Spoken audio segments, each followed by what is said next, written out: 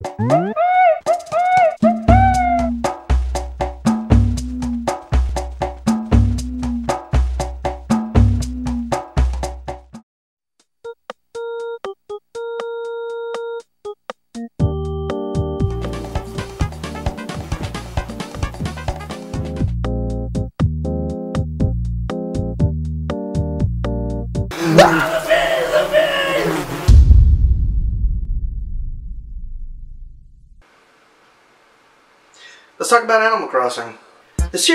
original premiere here in the West in 2002, and since then has had three extra installments since then to the main series. The game was originally in Japan only, on the Nintendo 64, however it went by a different name, Animal Forest. The game was planned to be on the N64 DD system, but ended up being just a standalone cartridge due to the commercial failure of the DD. Now when there is something that is kind of strange, like the N64 DD, and ends up being a commercial failure in Japan, that really speaks volumes to me. Because it's Japan. If the N64 DD wasn't going to make it there, it wasn't going to make it anywhere. Animal Crossing was basically a port from the Japanese version of the game on the N64, but given the GameCube's superior hardware, a multitude of content and options were implemented making a lot of firsts for the series. Not including the N64 game, there are four main installments in the franchise. Animal Crossing for the GameCube, Animal Crossing Wild World for the DS, Animal Crossing City Folk for the Wii, and Animal Crossing A New Leaf for the 3DS. All these games bring something new and different to the table, and it's always been my favorite, the one on the GameCube in comparison to the three newer ones. So that's the video I'm doing then today. It's also the title of the video. Let's do it. So Animal Crossing is a real-life sim. The game takes advantage of the GameCube's internal clock to regulate the game's timekeeping in real time. That basically means that if it's, let's say, 7 p.m. in reality, it's 7 p.m. in the game. This also goes for the date in the game and can even reflect day and night cycles, seasons, correlating weather, and even holidays. When you play the game for the first time without any save data on your memory card, you basically get asked questions on what the time and date are, and so on to get everything set up. Then once that's done, it throws you into the game's intro. So you're taking a train ride to the new village of where it is you're going to be moving to. This guy, Rover, will come up to you and start conversating with you. He seems real nice and whatnot, and when I was a kid I always thought it was a nice gesture for someone to come up and be friendly with you to help pass the time of a long trip. However, now that I'm an adult, to be honest, I can't see Rover the same way. I'm just a little too jaded. Before I thought, ah, oh, this dude seems pretty cool, coming up to chit-chat, that's nice. Now I'm like, what the fuck does this guy want? You gonna ask me for money? Probably a drug addict. And being the crotchety older person that I am now, I'm gonna be a little rude with him.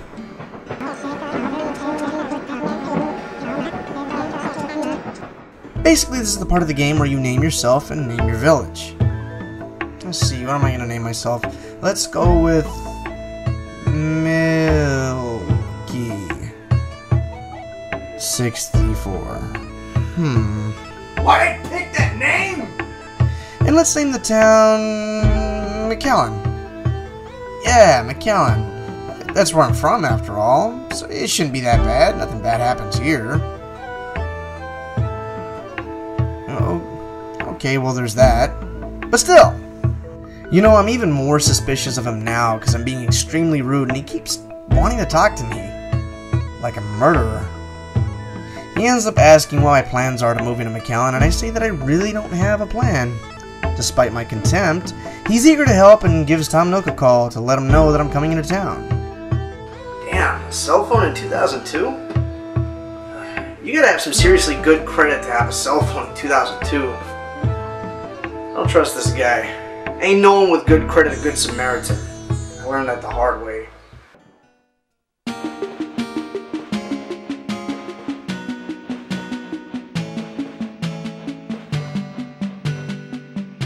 Ah, and here we are in McAllen.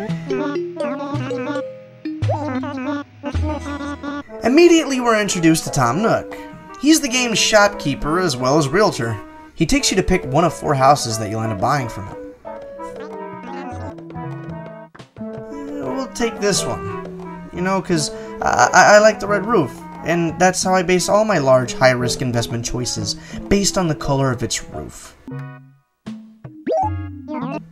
So the house ends up costing, reasonably, 19,800 bells. What?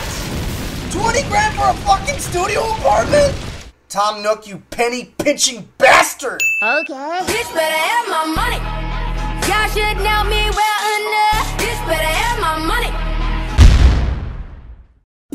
So, I'm sure as you can tell, I don't have enough money to pay Nook for his house outright. So I don't know what that damn deviant rover told him to get him to think that I had the cash to do this. So after this issue, Nook asks you to come do some work at his shop at Nook's Cranny. So, this is where he sends you on a number of errands that serves as the game's means to get you to get familiar with the village you've moved into. Every village is procedurally generated to a certain degree, not on the level of Minecraft or anything, of course, but I don't think I've ever seen two villages alike. During your errands and tasks set in place by Tom Nook, you go throughout the town and meet all the villagers within it. You can also meet the mayor Tortimer, who hangs around the fountain. He usually only comes around during certain events that take place during certain days. You can find out what celebrations take place and on what day by looking into the journal that you get with your house. There are also bulletins that get put up on the bulletin board a few days before an event takes place.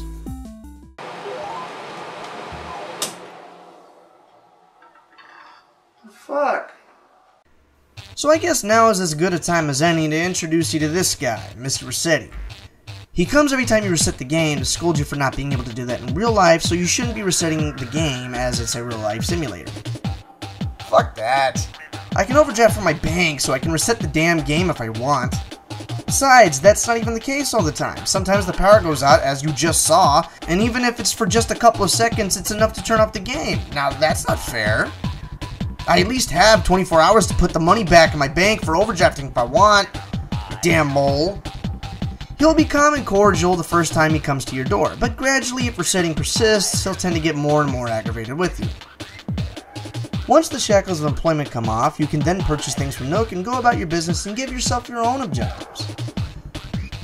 This always kind of bugged me, but once you're done working for Tom Nook, pretty much every time you enter his store after that, he treats you as if he doesn't know you.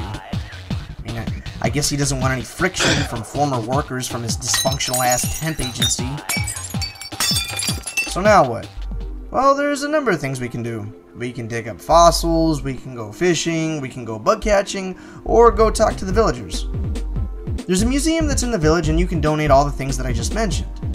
Blathers is the curator of the museum and gives you a breakdown of everything you donate. And much like his name suggests, he doesn't shut up and has to explain everything. He just goes on and on about any particular detail when given something. The amount of scrutiny and analysis that goes into even the most mundane throwaway of a detail can be hovered over and capitalized on continuously. Just an ongoing influx of information about something that, for most people, would be overwhelming to the point of making them turn tail and leave.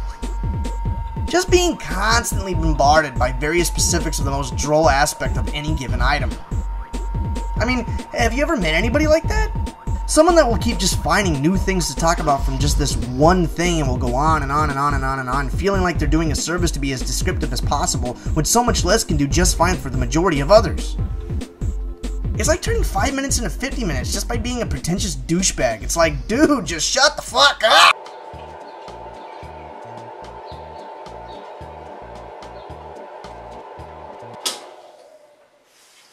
The fuck, man, again?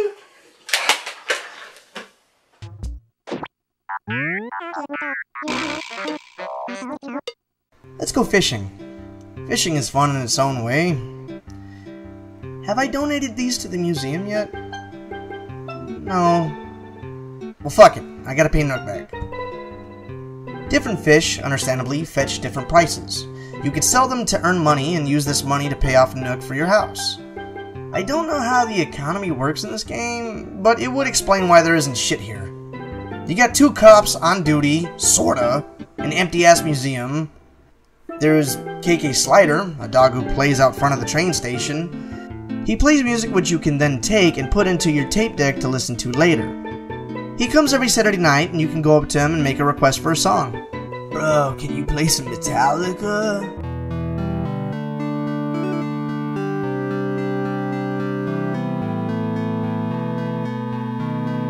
Bro, can you play some DragonForce?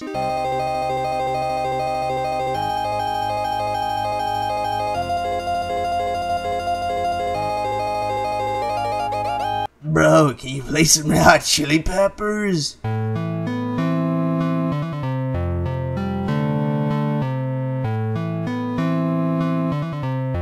California. You also have the post office, which is to send mail, duh, but also to pay off your debt. You have these two ducks that work there named Pelly and Phyllis. Pelly is such a nice, well mannered young lady that pays a compliment to the term duckface.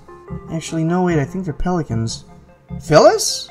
Well, she's an attitude having, smart mouth, forked tongue bitch. And that's why you have to be staying on second shift. Once you pay off your debt, you can go follow up with Nook and surprise, surprise, he knows your first name again.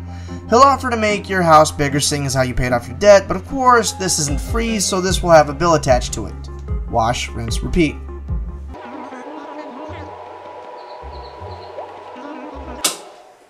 You fucking serious? Oh my god!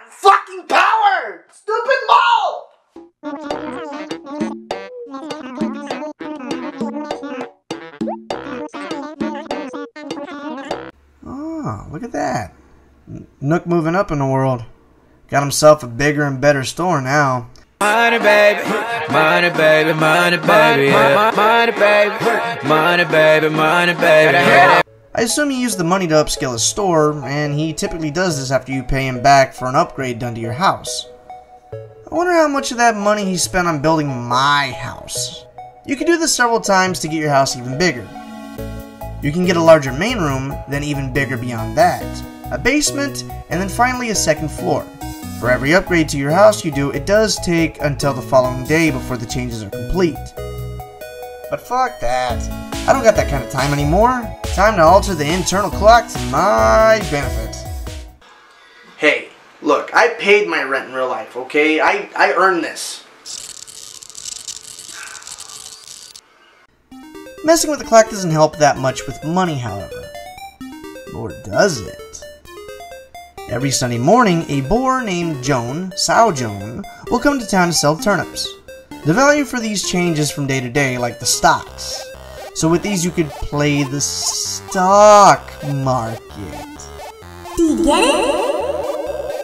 So the point is to buy these in bulk and then sell them to Nook for more than what you paid for them. Common sense, right? Usually he'll buy them for more than what you paid on average, but not by much. But if you're patient, one day out of the week, he'll buy the turnips for an insane amount each. No. No. No. No. Oh, okay, that's not that. Okay, that's not bad. How much is that for every?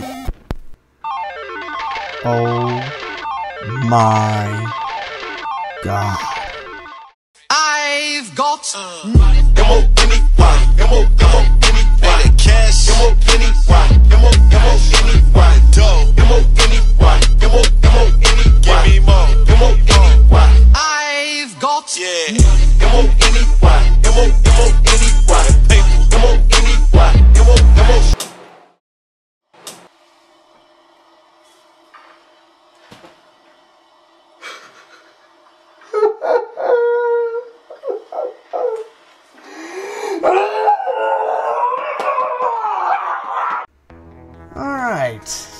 okay, just a little finagling, and we've got ourselves a fully loaded house. In, I don't know, an hour? Not counting all the power outages, of course. So there are some specific characters that we'll visit every couple days, and all the villagers will talk about it beforehand and will say the date of when they are to arrive. Wendell the Walrus is a starving artist. At least that's the intended pun. If you give him some fish, he'll be so happy and give you a one of a kind wallpaper for your house that you can't get from anyone else in the game. Saharah is a carpet merchant and will sell you a rare carpet for money along with a trade of any other carpet you may have around. Katrina is another special visitor who will tell you a fortune. Most of the time it's bullshit, but other times it can either make you super lucky with money or make you trip all over the place. Crazy Redd is a fox who is a merchant. Don't mind the very obvious black from the words black market, X'd out in a bright red X, that's just how he rolls. He sells you shit that you can get from pretty much anywhere else and almost always at a higher price. Sometimes he actually does have rare items, however. Most notably of these are paintings, but sometimes even those are trash because they can be fakes. So pretty much he sells you just a bunch of ordinary stuff as if it was the last one on the planet. Oh, you mean I can buy this chair? This this iris chair? I can buy this? You mean you mean this same one of a kind super rare chair that I also happen to find thrown away in the dump? Yeah, this definitely seems like McAllen to me. Now, if I can be serious for just a second, I do want to point out again that this is my favorite Animal Crossing game in the series. Mostly because I enjoy the Acre system, and this is the only game in the series to do that. Every installment after this game would begin to use this globe type effect, and I just really can't stand it. It feels less like a, well, like an animal forest. The globe effect, for one, does call attention to the game's graphical shortcomings and also makes the scope of the village that you live in seem so much smaller in scale. For me, that kind of stripped away some of the wonder that Animal Crossing would leave players with. Another great advantage that this game has over its successors is its library of NES games that you can find. My first time playing Balloon Fight was thanks to Animal Crossing, and I'm sure many others have similar stories to this one. Damn. I guess I time traveled too much. The game thinks I've been away for a long time. Weeds will crop up around your town over time if you don't get rid of them as you see them. Your house will also get infested with roaches. Oh, wait. Is this all? Is this all the roaches? Man, this ain't shit! Look, I'll show you a real cockroach infestation if you've ever seen one. And it's clean too. Do you see how clean that refrigerator is? How does this thing focus? Oh shit. I can't even see them at this angle.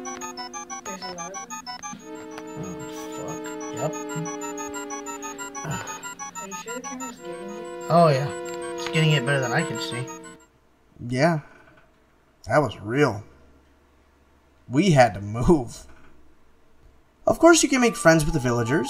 You can talk with them, and often they'll tell you some senseless nonsense, but it's actually very endearing and one of the series' biggest charms. Sometimes, with talking to them, they'll just give you stuff for free, and also sometimes they'll want to buy stuff that you have on you. It's kind of a wild card, but it also keeps you wanting to talk to them just to see what can happen next. Hey, Friga, what's going on? Yeah, no, no, change is good. Change is good. Wait, you did what? She painted my roof a different shade of red? Hell no! Oh, that penguin having ass bitch. Oh, really? My choice of red wasn't good enough? You had to fuck with my red? Take, take that! Yeah, that's right. I don't want to be your friend. Don't touch my roof. And you know what? While we're at it, you can go ahead and move out. Don't bother leaving a letter either. I don't give a shit. You know, that actually reminds me. You could pass around letters to other villagers. But you know what? Even when I was younger, I never really saw the point in writing letters to the villagers. I mean, they're my damn neighbors. They are literally a stone's throw away. Why would I want to write a letter? Maybe if they got locked up, put in the zoo, whatever. A, a pound, a kennel. Ah, this guy. This guy is Gulliver. He washes up on shore every couple of weeks and tells you some bogus story on how he fell off of his ship. He does give you a rare piece of furniture when you listen to his BS story, though, so that's pretty cool of him. What isn't cool, however, is how RNG the factoring of the items are. It's nice to get a shogi piece for the first time. It isn't nice to get these three weird mouth things in a row. You know what? Screw this. Time to exploit this game to its maximum. You know, there's codes you can tell Nook at a store to get pretty much anything you want. Does it defeat the purpose of making an effort? Yeah. But whatever, I'm trying to make a video here, don't judge me.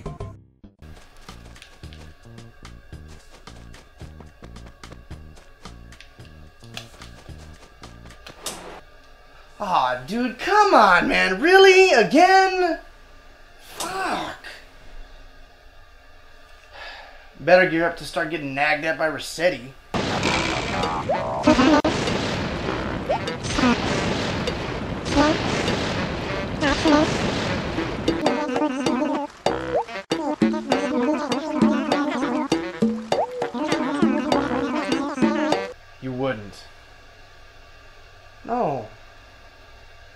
Can't.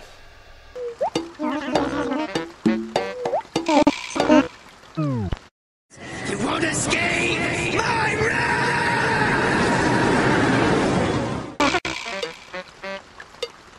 Niggas about to get stabbed. Niggas about to get stabbed. Niggas about to get stabbed. Niggas about to get stabbed. Niggas about to get stabbed. Niggas about to get stabbed.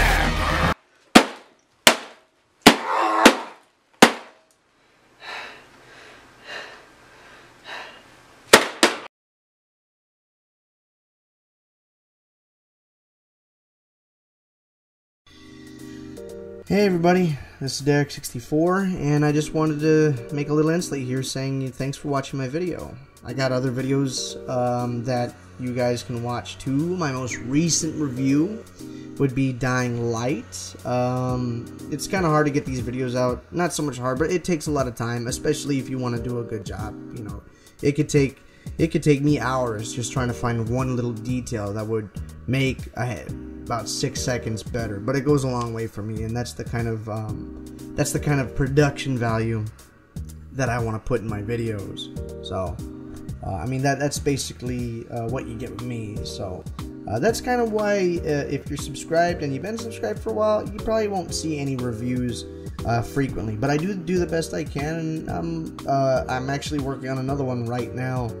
Um, but yeah, Dying Light would be a good indicator as to what kind of uh, time frame you'd look at because Dying Light took me six months. Um, but I did have a lot to say, and uh, Dying Light kind of grew into this behemoth of a video.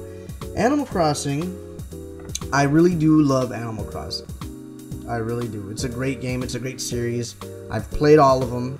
Uh, I have New Leaf. I haven't really had a chance to play New Leaf too much, um, but I've played it enough to know that my favorite still in the series would be the first, the first game.